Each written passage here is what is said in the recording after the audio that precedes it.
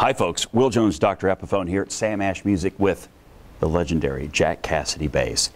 You've seen this bass everywhere TV commercials and movies, concert, videos, wherever.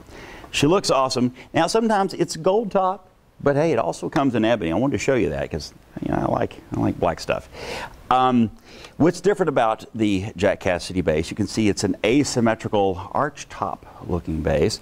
Uh, she's hollow, of course, and the special tone that punches through and you really hear it great is from this special JCB1 low impedance humbucker pickup designed with Jack Casady himself, Jefferson Airplane, Hot Tuna, the man. Jack knows the tone, and it's in this pickup. And you can sound great too with the Jack Casady bass.